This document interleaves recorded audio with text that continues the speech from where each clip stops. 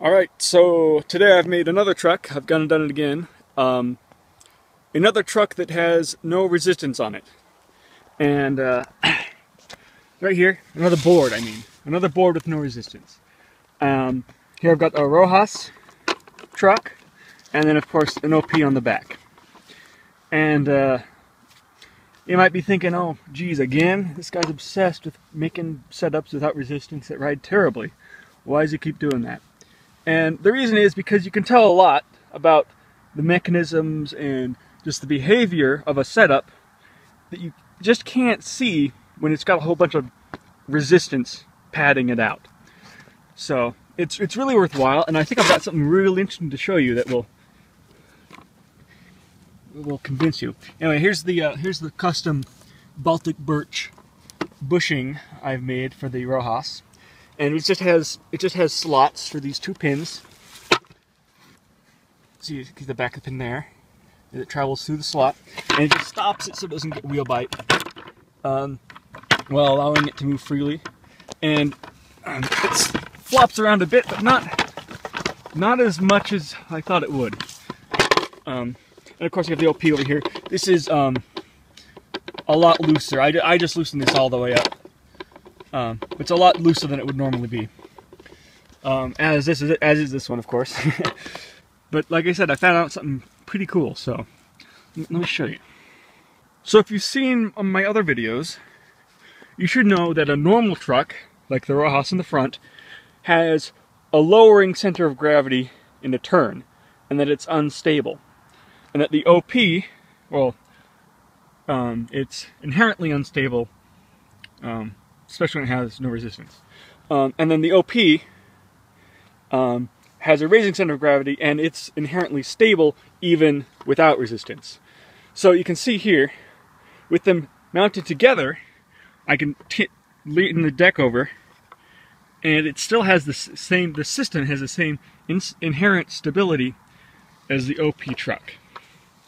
So it's like, okay, that's pretty cool. So, so it's um, should be more rideable than the Ronin board without any resistance.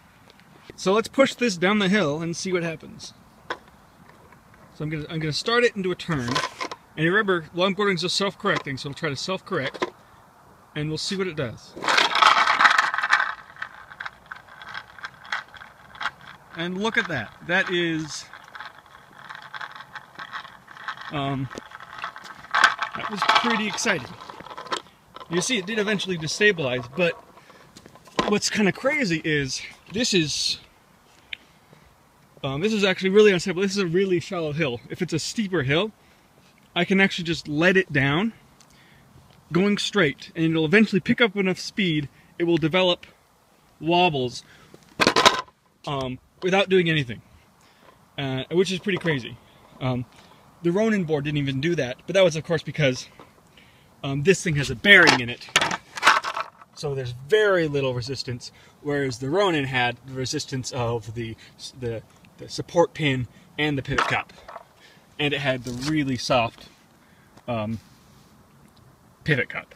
So, so that was a little bit surprising when I did that. I was like, huh, shouldn't it be stabilized by the OP? You can see that it has a return to center. So why is that not doing anything? Um, but then I tried it again, happening to have the board in the other direction. And check this out. If I start the board in turn, like before, and kick it out, see how quickly that thing stabilized again? And when I went to ride it,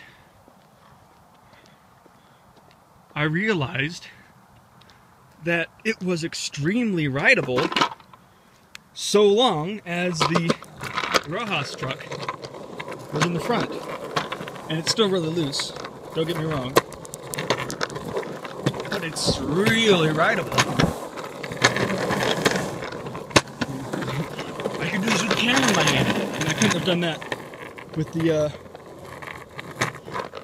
with the with the Ronin trucks when I had the no resistance on those when it was just the two Ronins, which is, is which is which is essentially it's essentially the same experiment. I could do this Ronin's or any other um, any other 45 degree uh, traditional single pivot truck. Not to say that the this is better than the than the Ronins were. It's just that um, the last time I tried it and I had two loose kingpin trucks like this, they happened to be two Ronins. Anyway, but that was extremely interesting because when we had the stable truck on the rear, because the OPs are stable, inher inherently stable, inherently unstable.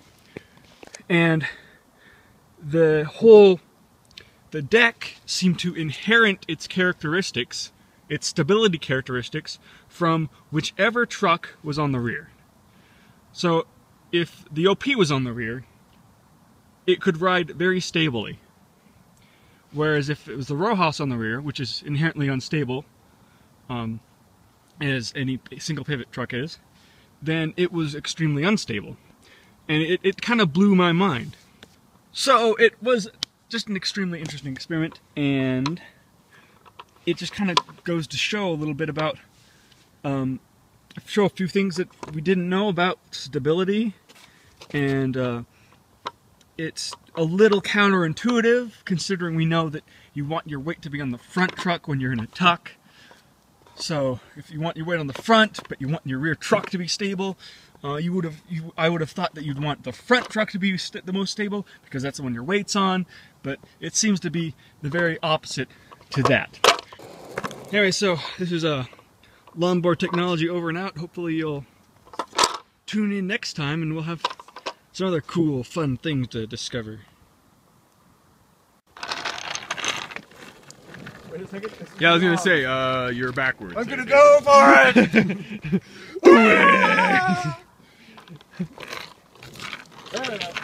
That looks